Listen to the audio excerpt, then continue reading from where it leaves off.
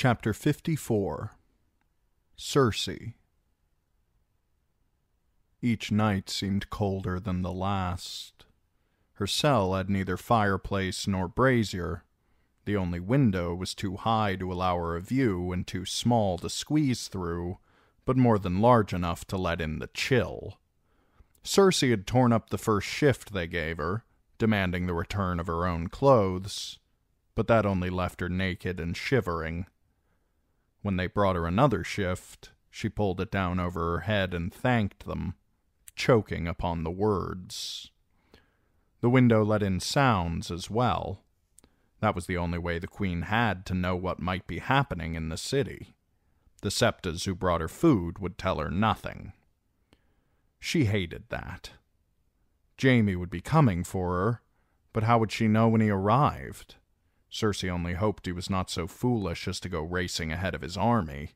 He would need every sword to deal with the ragged horde of poor fellows surrounding the great sept. She asked about her twin often, but her jailers gave no answer. She asked about Sir Loras, too. At last report, the Knight of Flowers had been dying on Dragonstone of wounds received whilst taking the castle. Let him die, Cersei thought and let him be quick about it. The boy's death would mean an empty place on the king's guard, and that might be her salvation. But the Septas were as close mouthed about Loras Tyrell as they were about Jaime.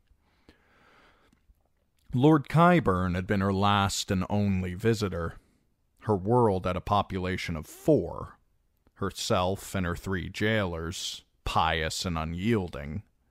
Septa Unella was big boned and mannish, with calloused hands and homely, scowling features.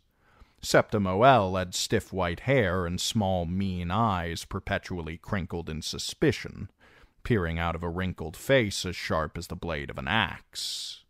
Septa Scalera was thick waisted and short, with heavy breasts, olive skin, and a sour smell to her, like milk on the verge of going bad.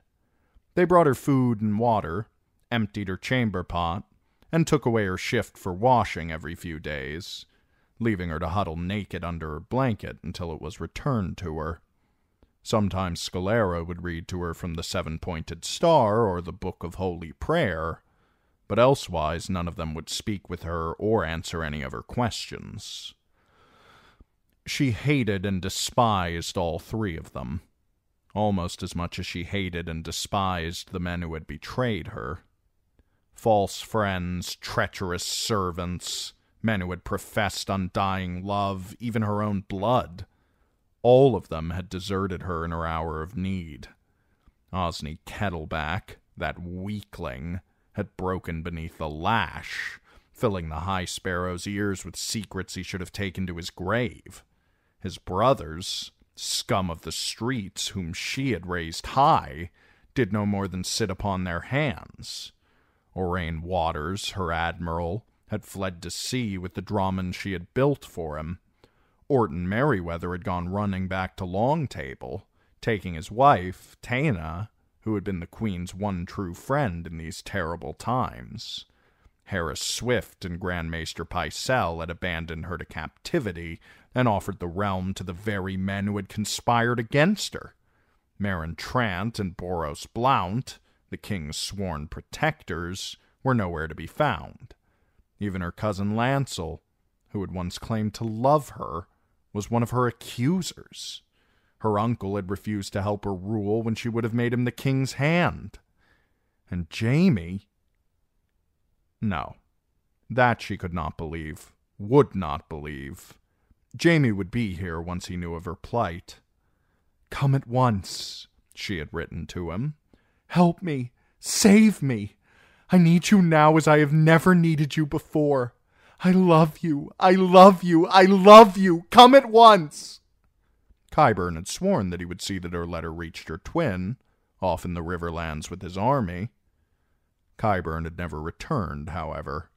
For all she knew, he might be dead his head impaled upon a spike above the city keep's gates. Or perhaps he was languishing in one of the black cells beneath the red keep, her letter still unsent. The queen had asked after him a hundred times, but her captors would not speak of him. All she knew for certain was that Jaime had not come. Not yet, she told herself, but soon. And once he comes, the High Sparrow and his bitches will sing a different song. She hated feeling helpless. She had threatened, but her threats had been received with stony faces and deaf ears. She had commanded, but her commands had been ignored. She had invoked the mother's mercy, appealing to the natural sympathy of one woman for another. But the three shriveled septas must have put their womanhood aside when they spoke their vows. She had tried charm, speaking to them gently, accepting each new outrage meekly. They were not swayed. She had offered them rewards, promised leniency, honors, gold, positions at court. They treated her promises as they did her threats. And she had prayed. Oh, how she had prayed. Prayer was what they wanted, so she served it to them, served it on her knees as if she were some common trollop of the streets and not a daughter of the rock. She had prayed for relief, for deliverance, for Jaime. Loudly, she asked the gods to defend her in her innocence. Silently, she prayed for her accusers to suffer sudden, painful deaths. She prayed until her knees were raw and bloody, until her tongue felt so thick and heavy that she was like to choke on it. All the prayers they had taught her as a girl came back to Cersei in her cell, and she made up new ones as needed, calling on the mother and the maiden, on the father and the warrior, on the crone and the smith. She had even prayed to the stranger, any god in a storm. The seven proved as deaf as their earthly servants. Cersei gave them all the words that she had in her, gave them everything but tears. That they will never have, she told herself. She hated feeling weak. If the gods had given her the strength they gave Jaime and that swaggering oaf Robert, she could have made her own escape. Oh, for a sword and the skill to wield it. She had a warrior's heart, but the gods in their blind malice had given her the feeble body of a woman. The queen had tried to fight them early on, but the septas had overwhelmed her. There were too many of them, and they were stronger than they looked. Ugly old women, every one of them, but all that praying and scrubbing and beating novices with sticks had left them tough as roots. And they would not let her rest, night or day. Whenever the queen closed her eyes to sleep, one of her captors would appear to wake her and demand that she confess her sins.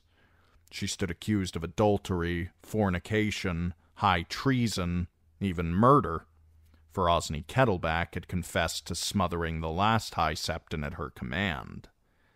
I am come to hear you tell of all your murders and fornications, Septa Unella would growl when she shook the queen awake.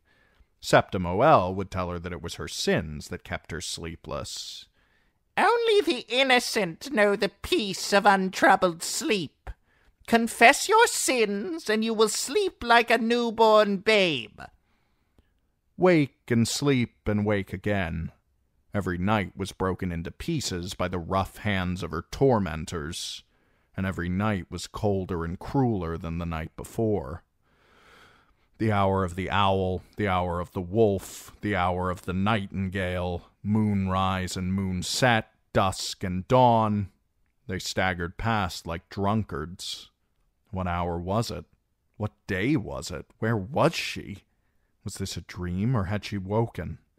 The little shards of sleep that they allowed her turned into razors slicing at her wits. Each day found her duller than the day before, exhausted and feverish. She had lost all sense of how long she had been imprisoned in this cell, high up in one of the seven towers of the great sept of Baelor. I will grow old and die here, she thought, despairing. Cersei could not allow that to happen. Her son had need of her. The realm had need of her. She had to free herself, no matter what the risk. Her world had shrunk to a cell six feet square, a chamber pot, a lumpy pallet, and a brown wool blanket thin as hope that made her skin itch. But she was still Lord Tywin's heir, a daughter of the rock. Exhausted by her lack of sleep, shivering from the cold that stole into the tower cell each night, feverish and famished by turns, Cersei came at last to know she must confess. That night, when Septa Unella came to wrench her out of sleep, she found the queen waiting on her knees. I have sinned, said Cersei. Her tongue was thick in her mouth, her lips raw and chapped. I have sinned most grievously. I see that now. How could I have been so blind for so long? The crone came to me with her lamp raised high and by its holy light I saw the road that I must walk. I want to be clean again. I want only absolution. Please, good Septa, I beg of you, take me to the High Septon, so that I might confess my crimes and fornications. I will tell him, your grace, said Septa Unella. His High Holiness will be most pleased. Only through confession and true repentance may our immortal souls be saved. And for the rest of that long night they let her sleep. Hours and hours of blessed sleep. The owl and the wolf and the nightingale slipped by for once with their passage unseen and unremarked, while Cersei dreamed a long, sweet dream where Jaime was her husband and their son was still alive. Come morning, the queen felt almost like herself again. When her captors came for her, she made pious noises at them again and told them how determined she was to confess her sins and be forgiven for all that she had done. We rejoice to hear it, said Septa Moel. It will be a great weight off your soul, said Septa Scalera. You will feel much better afterward, your grace. Your grace, those two simple words thrilled her. During her long captivity, her jailers had not oft bothered with even that simple courtesy. His High Holiness awaits, said Septa Unella. Cersei lowered her head, humble and obedient. Might I be allowed to bathe first? I am in no fit state to attend him. You may wash later if His High Holiness allows, said Septa Unella. It is the cleanliness of your immortal soul that should concern you now, not such vanities of the flesh. The three septas led her down the tower stairs, with Septa Unella going before her, and Septa Moel and Septa Scalera at her heels, as if they were afraid that she might try to flee. It has been so long since I have had a visitor, Cersei murmured in a quiet voice as they made their descent. Is the king well? I ask only as a mother fearful for her child. His grace is in good health, said Septa Scalera, and well protected day and night. The queen is with him always. I am the queen. She swallowed, smiled, and said, That is good to know. Tommen loves her so. I never believed those terrible things that were being said of her. Had Margaery Tyrell somehow wriggled free of the accusations of fornication, adultery, and high treason? Was there a trial? Soon, said Septa Scalera. But her brother. Hush! Septa Unella turned to glare back over her shoulder at Scalera. You chatter too much, you foolish old woman. It is not for us to speak of such things. Scalera lowered her head. Pray forgive me. They made the rest of the descent in silence. The High Sparrow received her in his sanctum, an austere seven sided chamber where crudely carved faces of the Seven stared out from the stone walls with expressions almost as sour and disapproving as His High Holiness himself. When she entered, he was seated behind a rough hewn table, writing. The High Septon had not changed since the last time she had been in his presence, the day he had her seized and imprisoned.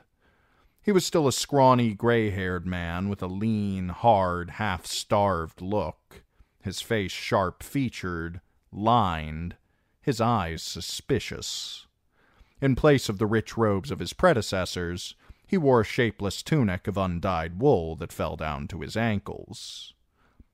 Your Grace, he said, by way of greeting, I understand that you wish to make confession. Cersei dropped to her knees. I do, High Holiness. The crone came to me as I slept with her lamp held high. To be sure. Unella, you will stay and make a record of her Grace's words. Scalera, Moel, you have my leave to go. He pressed the fingers of his hands together, the same gesture she had seen her father use a thousand times. Septa Unella took a seat behind her, spread out a parchment, dipped a quill in maester's ink. Cersei felt a stab of fright. Once I have confessed, will I be permitted to? Your grace shall be dealt with according to your sins. This man is implacable, she realized once again. She gathered herself for a moment. Mother, have mercy on me then. I have lain with men outside the bonds of marriage. I confess it. Who? The High Septon's eyes were fixed on hers. Cersei could hear Unella writing behind her. Her quill made a faint, soft scratching sound. Lancel Lannister, my cousin, and Osney Kettleblack. Both men had confessed to betting her. It would do her no good to deny it. His brothers, too both of them. She had no way of knowing what Osfryd and Osmund might say. Safer to confess too much than too little. It does not excuse my sin, High Holiness. But I was lonely and afraid. The gods took King Robert from me, my love and my protector. I was alone, surrounded by schemers, false friends, and traitors who were conspiring at the death of my children. I did not know who to trust, so I. I used the only means that I had to bind the Kettleblacks to me. By which you mean your female parts. My flesh. She pressed a hand to her face, shuddering. When she lowered it again, her eyes were wet with tears. Yes. May the maid forgive me. It was for my children, though. For the realm. I took no pleasure in it. The Kettleblacks. They are hard men and cruel, and they used me roughly, but what else was I to do? Tommen needed men around him I could trust. His Grace was protected by the King's Guard. The King's Guard stood by useless as his brother Joffrey died, murdered at his own wedding feast. I watched one son die. I could not bear to lose another. I have sinned. I have committed wanton fornication. But I did it for Tommen. Forgive me, High Holiness. But I would open my legs for every man in King's Landing if that was what I had to do to keep my children safe. Forgiveness comes only from the gods. What of Sir Lancel, who was your cousin and your lord husband's squire? Did you take him into your bed to win his loyalty as well? Lancel. Cersei hesitated. Careful, she told herself. Lancel will have told him everything. Lancel loved me. He was half a boy, but I never doubted his devotion to me or my son. And yet you still corrupted him. I was lonely. She choked back a sob. I had lost my husband, my son, my lord father. I was regent, but a queen is still a woman, and women are weak vessels, easily tempted. Your High Holiness knows the truth of that. Even holy septas have been known to sin. I took comfort with Lancel. He was kind and gentle, and I needed someone. It was wrong, I know, but I had no one else. A woman needs to be loved. She needs a man beside her. She. she. She began to sob uncontrollably. The High Septon made no move to comfort her. He sat there with his hard eyes fixed on her, watching her weep, as stony as the statues of the seven in the sept above. Long moments passed, but finally her tears were all dried up. By then her eyes were red and raw from crying, and she felt as if she might faint. The High Sparrow was not done with her, however. These are common sins, he said. The wickedness of widows is well known, and all women are wantons at heart, given to using their wiles and their beauty to work their wills on men. There is no treason here, so long as you did not stray from your marriage bed whilst his grace King Robert was still alive. Never, she whispered, shivering. Never, I swear it. He paid that no mind. There are other charges laid against your grace, crimes far more grievous than simple fornications. You admit Sir Osney Kettleblack was your lover, and Sir Osney insists that he smothered my predecessor at your behest. He further insists that he bore false witness against Queen Margaery and her cousins, telling tales of fornication, adultery, and high treason, again at your behest. No, said Cersei. It is not true. I love Margaery as I would a daughter, and the other. I complained of the High Septon. I admit it. He was Tyrion's creature, weak and corrupt, a stain upon our holy faith. Your High Holiness knows that as well as I. It may be that Osney thought that his death would please me. If so, I bear some part of the blame. But murder?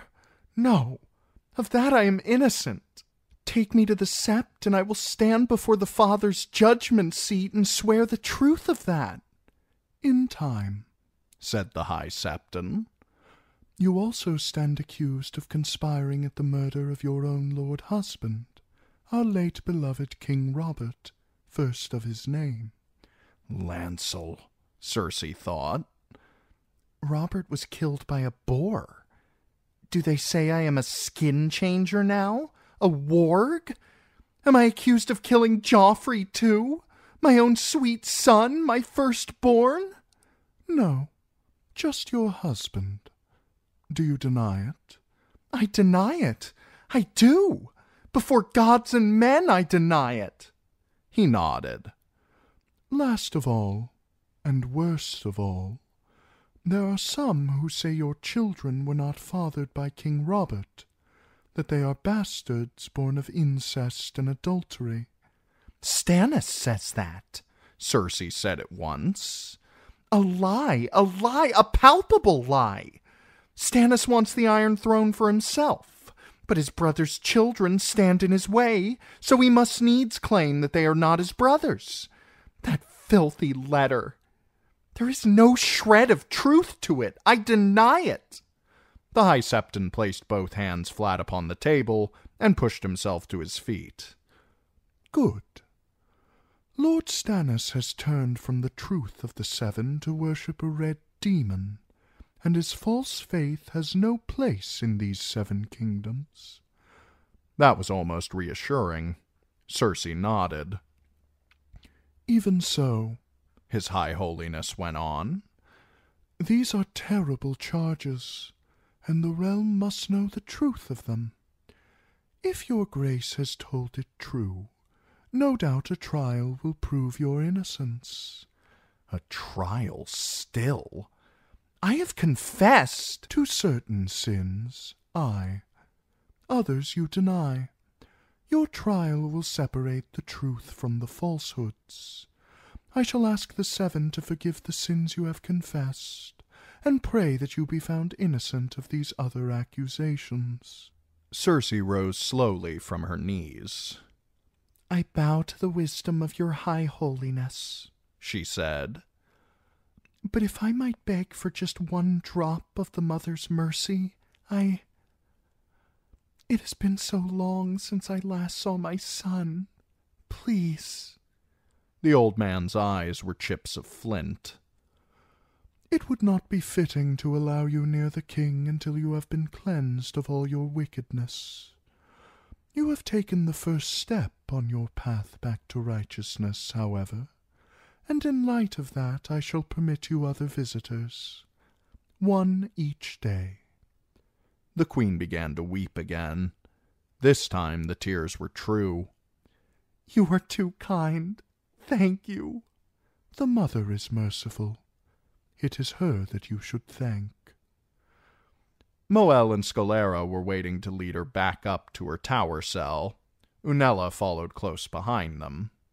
We have all been praying for your grace, Septa Moel said as they were climbing. Yes, Septa Scalera echoed.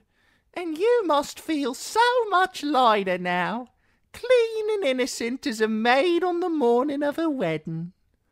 I fucked Jaime on the morning of my wedding, the queen recalled. I do, she said. I feel reborn, as if a festering boil has been lanced, and now at last I can begin to heal. I could almost fly. She imagined how sweet it would be to slam an elbow into Septa Scalera's face and send her careening down the spiral steps. If the gods were good, the wrinkled old cunt might crash into Septa Unella and take her down with her. It is good to see you smiling again, Scalera said. His High Holiness said I might have visitors? He did, said Septa Unella. If your grace will tell us whom you wish to see, we will send word to them. Jaime. I need Jaime. But if her twin was in the city, why had he not come to her? It might be wiser to wait on Jaime until she had a better notion of what was happening beyond the walls of the great sept of Baelor.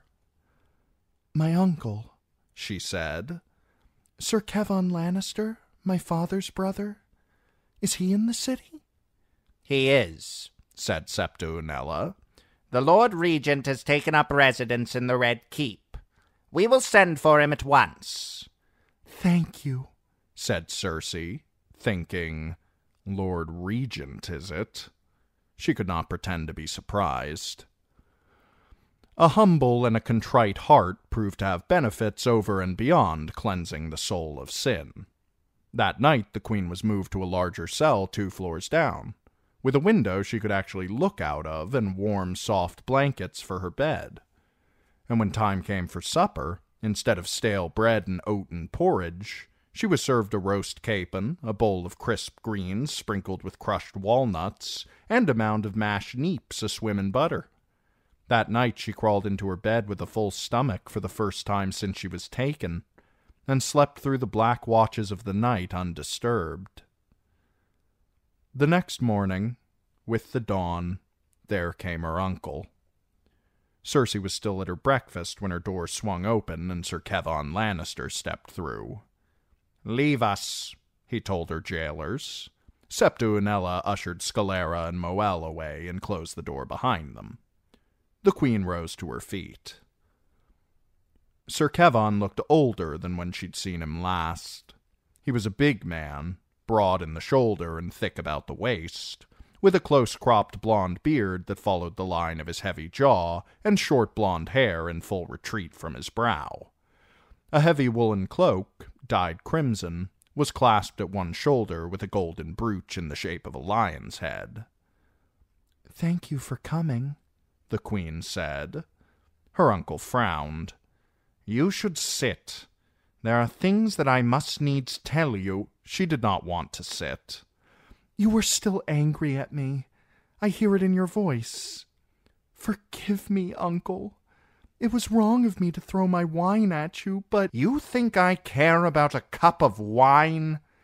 Lancel is my son, Cersei, your own cousin. If I am angry with you, that is the cause. You should have looked after him, guided him, found him a likely girl of good family. Instead, you. I know, I know. Lancel wanted me more than I ever wanted him. He still does, I will wager.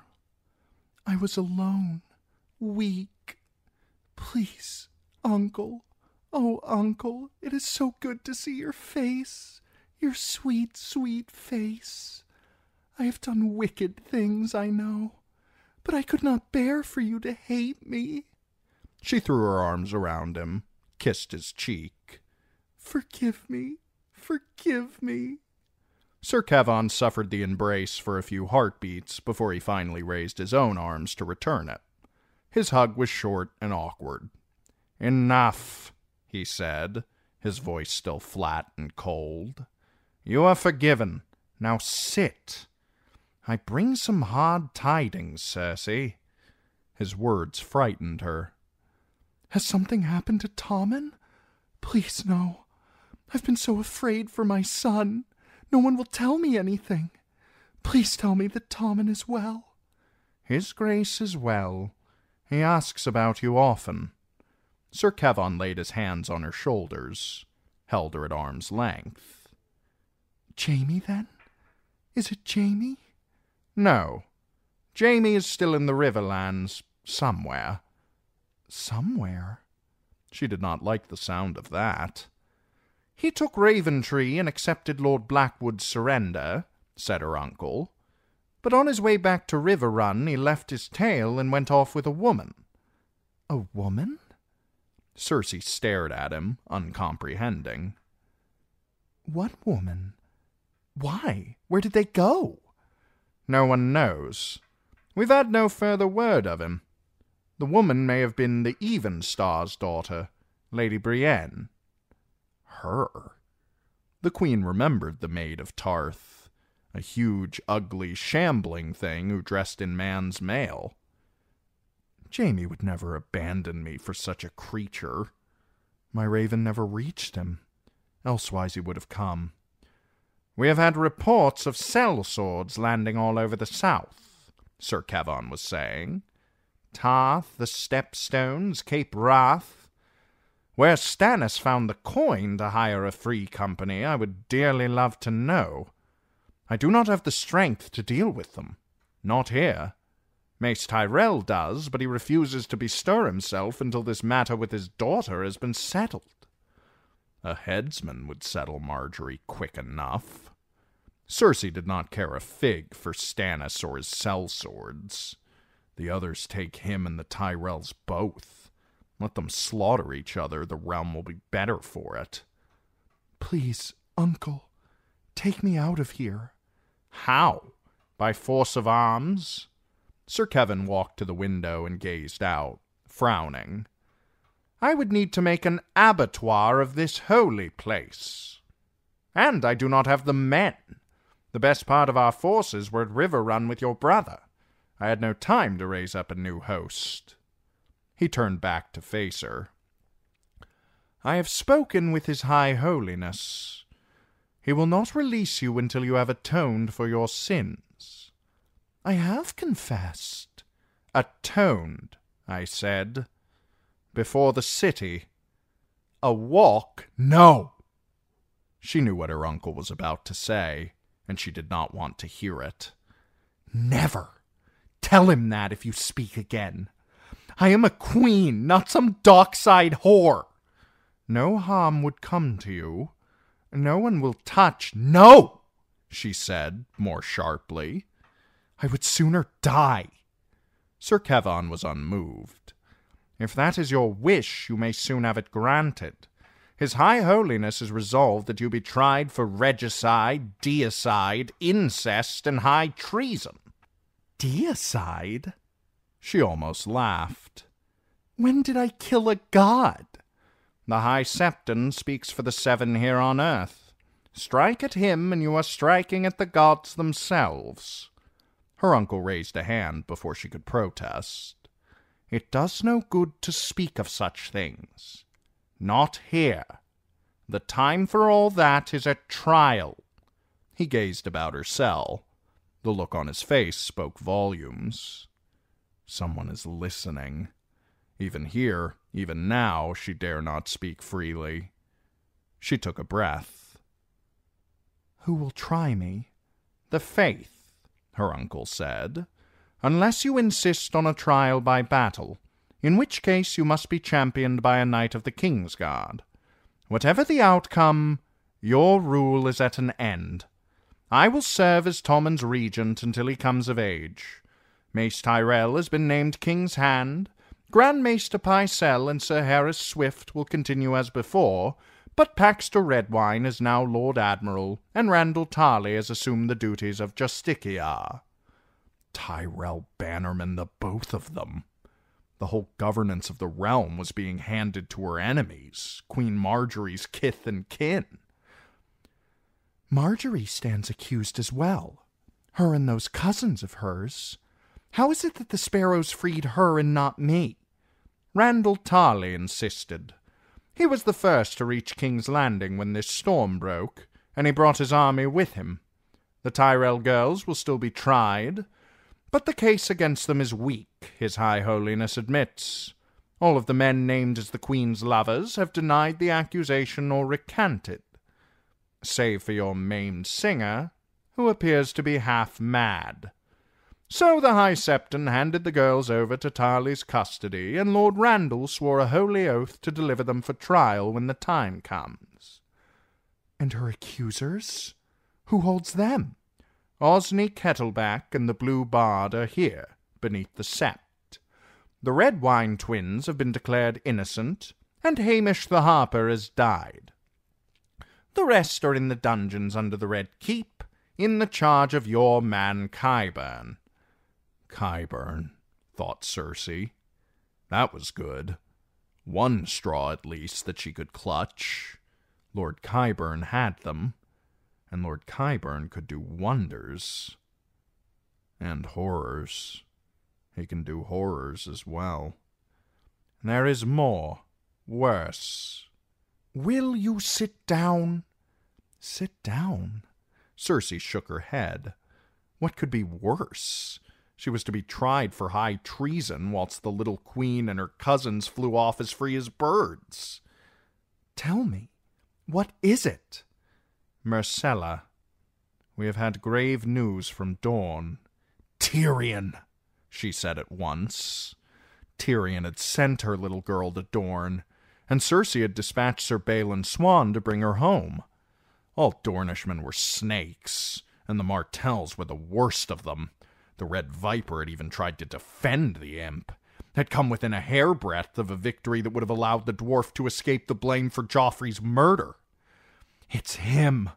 He's been in Dorne all this time, and now he's seized my daughter. Sir Kevan gave her another scowl. Myrcella was attacked by a Dornish knight named Gerold Dayne. She's alive, but hurt. He slashed her face open. She.